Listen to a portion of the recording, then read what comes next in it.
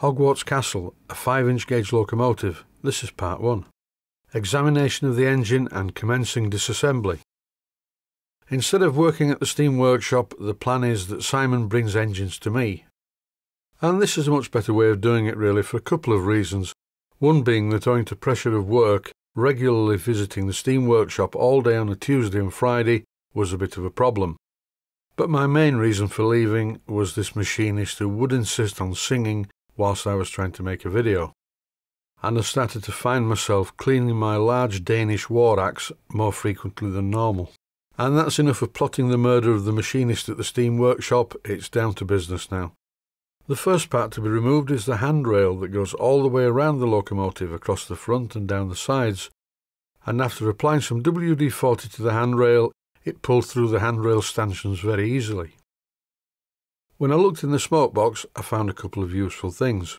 One was the crossbar, and this is even more useful. This is the smoke box dart. This part, called a dart, fits in the smoke box like this. The handles are unfortunately missing, I will have to make some more of those. But that part of the job is quite a way off. In this episode, I'm having a quick look at how it's put together, and so far so good. It is actually very well engineered and even though the engine looks a little bit scruffy and a bit tired, it's actually in very good mechanical condition, which was quite a surprise.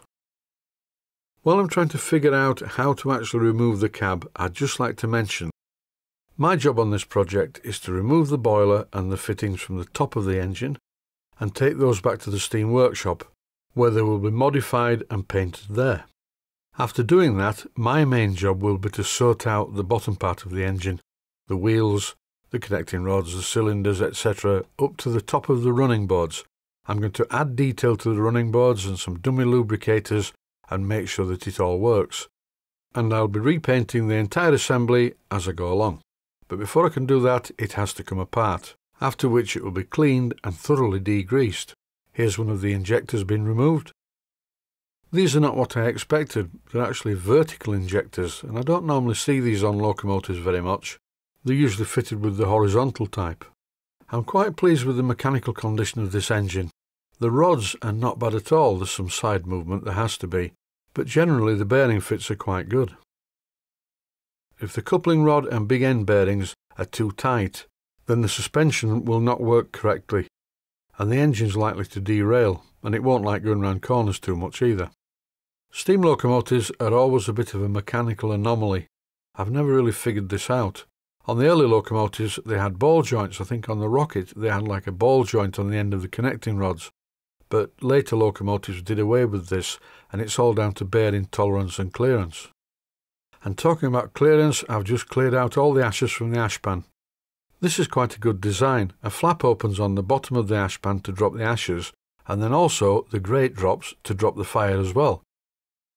I'm stalling really because I do need to remove this cab side and I'm trying to figure out the best way to do it. Someone's already started to dismantle this locomotive, whether it was done at the steam workshop, I don't know. But it's only partially dismantled. I have to finish the job and I do notice that a lot of these bolts are much longer than they need to be.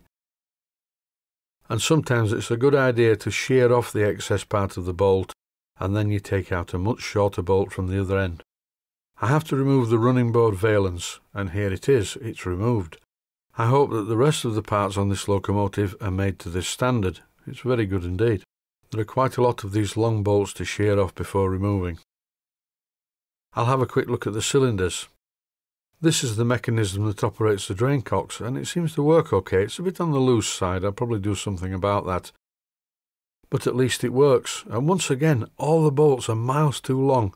I don't like to see bolts left at this length. But then again, if you have a lot of them to fit and you've bought bolts that are too long, which is what you would normally do anyway, because if your bolt is too short, you can't extend it, but if it's too long, at least you can cut it down. But just leaving them full length is a real pain for anyone, like myself, dismantling the engine. The design of this part of the engine is a bit weird really. I would normally mount things like the reverser to the frames, but this reverser, along with the draincock lever, is mounted to the floor. So what I'm having to do in this case is remove the reach rod, and in this clip as you can see I've temporarily bolted it back together so I don't lose the part, and all I have to do now is just slide out the floor, complete with the screw reverser. The drain cock operating lever was also attached to the floor, because the sequence in which this engine was put together allowed that to happen, but now pulling it apart it's not quite as easy. And as usual, the last bolt was the most difficult to get out. It's not fastened to anything, it just wouldn't come out, it was stuck in the hole. But with a bit of persuasion, finally the cab side came off. With the cab side now hovering in mid-air, I'm trying to unhook the reversing lever. That's it, it's out of the way. And here's the cab side.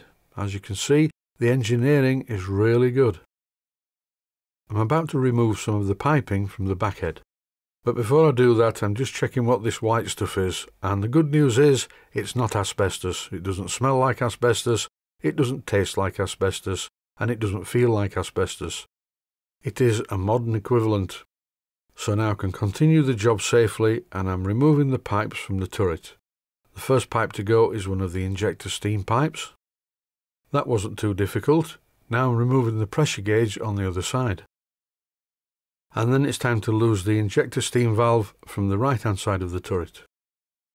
To conclude this first episode, and just to save getting lots of really anal messages, yes, I am aware that Hogwarts Castle is not a castle, it is a Hall class locomotive.